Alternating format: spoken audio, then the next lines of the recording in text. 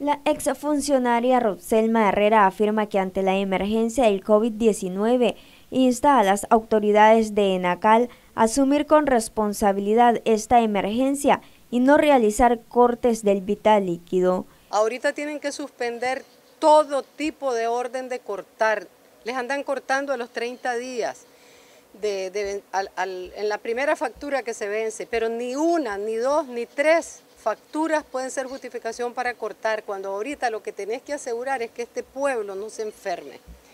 Pero hay otra cosa que yo quiero señalar, y es que los ingenieros, que Nacal tiene muchísimos, tienen que ir a supervisar los trabajos de mantenimiento que se están haciendo para asegurar que le llegue el agua a la población que no tiene.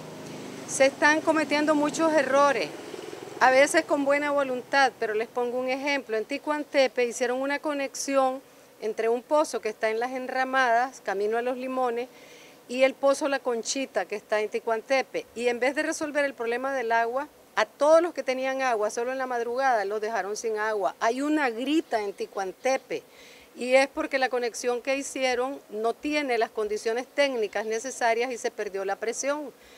Con tantos ingenieros en Enacal, ¿por qué estos ingenieros no están al frente de estos problemas? Aquí en este caso, nuevamente, las autoridades de Enacal tienen que poner a sus mejores técnicos a dar las respuestas para que sean efectivas las acciones. Hay problemas serios en Veracruz, en Ticuantepe, en San Pedro Claver.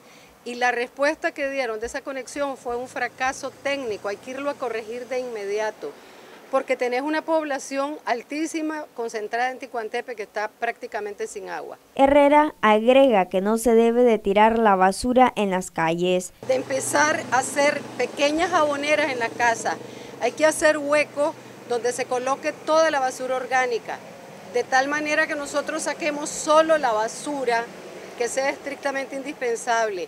Porque si aquí se suspende la recogida de la basura en un momento dado por una emergencia, vamos a tener focos de contaminación adicionales de bacterias.